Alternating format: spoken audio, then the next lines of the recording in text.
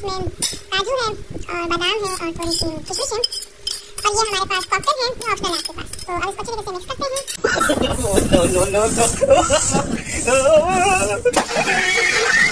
अस्सलाम वालेकुम क्या हाल है आप सबका? आई होप बिल्कुल ठीक होंगे। मैं भी अल्लाह का शुक्र, बिल्कुल ठीक ठाक। Happy Friday welcome to a new video a new vlog तो यहाँ मैं बना रही थी फ्रूट कॉकटेल के साथ रशियन सैलेड वैसे मैंने ये पहले भी शेयरिंग की थी, लेकिन चले मैंने कहा आपके साथ दोबारा शेयरिंग कर लूँ। यहाँ मैं फ्रूट कॉकटेल के साथ बना रही थी, गाजर थी एप्पल थे, और मैंने इसको बहुत ज़्यादा कचूमर सा बनाया हुआ था। वैसे तो एक अक्सर होता है, लेकिन ये मैंने कचूमर सा बनाया हुआ था। यहाँ मेरे पास दूध है।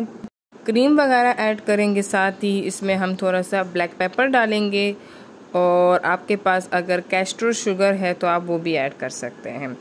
अब मायो है, वो भी हम ऐड कर लेंगे। ये अंदाजे से मैं डाल रही हूँ दो से तीन चम्मच कह सकते हैं आप और हम अच्छी तरह से इसको मिक्स करेंगे अगर आपके पास दूध नहीं है तो आप दही भी डाल सकते हैं मेरे पास दही नहीं था तो इसलिए मैंने दूध डाल दिया है। अच्छी तरह इसको मिक्स करेंगे।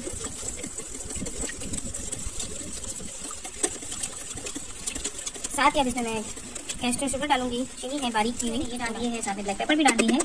और कंसिस्टेंसी हम लोग साथ साथ चेक करते रहेंगे। मुझे इसकी वजह से कम ही लग रही हाँ, अब ये मेरे पास थोड़ी सी मैक्रोनी है, मटर है और आलू है। मैंने डाल दी है, इसमें मटर है, गाजर है, आलू है, मैक्रोनी है, एप्पल है। अब मैं इसको अच्छी तरीके से मिक्स करूँगी और फिर लेटर ऑन करते हैं कि इसमें किस चीज़ की कमी है। यहाँ हम लोग जरा स्पेचुला से मिक्स कर रहे हैं, क्योंकि मिक्स से हो नहीं रहा था तो चलिए मिक्स से मिक्स करके आपके साथ मिलते हैं दोबारा।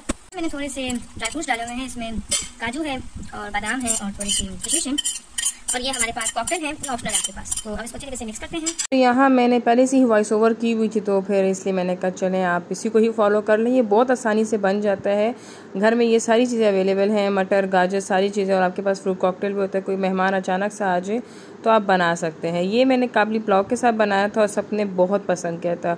आप लोगों को अच्छा लगा हो तो मुझे ज़रूर कमेंट करेगा और जिसने अभी तक मेरे चैनल को लाइक शेयर सब्सक्राइब नहीं किया काइंडली कर लें और बेल आइकन को दबाना मत भूलेगा नेक्स्ट आने वाली वीडियो के लिए। इसके साथ ही मैं अपनी वीडियो का एंड करती हूँ। हमेशा की तरह मुझे दुआ में याद रखें, मेरे चैनल को लाइक कर दें शेयर कर दें और सब्सक्राइब कर देगा। डेली मेरी चैनल की लाइव स्ट्रीमिंग होती है तो काइंडली मुझे ज़रूर ज्वाइन करेगा। सिक्स पी से लेकर सेवन ओ तक। अल्लाह